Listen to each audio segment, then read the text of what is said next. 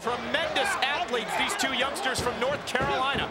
I just remember thinking, as long as we believe in this, something's going to happen. So hold on, cause it all changes over time. One day we will get where we go. There's a tornado DDT! Yes! We've got new tag champions! I'm feeling so alive. They were wrestling fans living out their dream.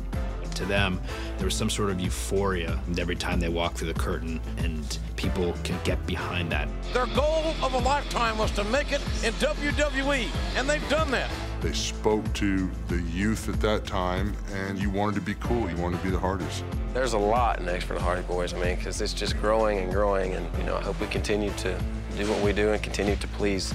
The audience was reacting, and we knew we could take it even further. The first ever tag team ladder match in WWE history. These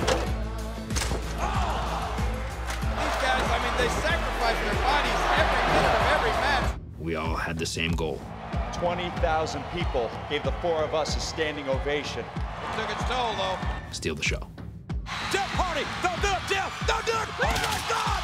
My God! A senton bomb! All very young, very stupid. We've been throwing in a lot of big matches here lately. And you know, it's kind of like this great dream that doesn't stop, and hopefully we're going to fulfill this dream to the next level. For us, it was real tough creatively to try and come up with new ways to do things, different things that people hadn't seen before. 20 feet above the ring!